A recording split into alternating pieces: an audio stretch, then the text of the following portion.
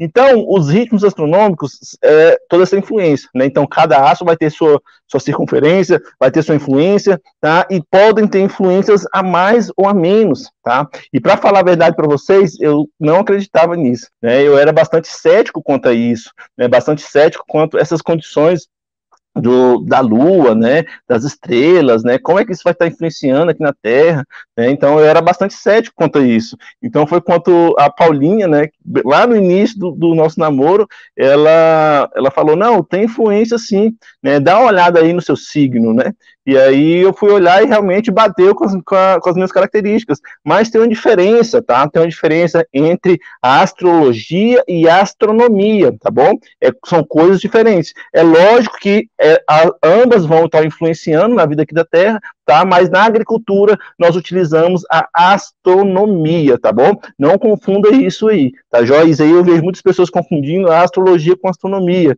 tá? Então não confunda. Vamos na agricultura a gente segue a astronomia. Então, a gente tem que observar que não é só a Lua, tá? Não é só a Lua. Às vezes eu fico incomodado, né, com algumas perguntas que me fazem, né, quando as pessoas querem qual a lua que é melhor para poder fazer isso ou aquilo, né? Então a gente tem que entender que não, não é só a lua que influencia.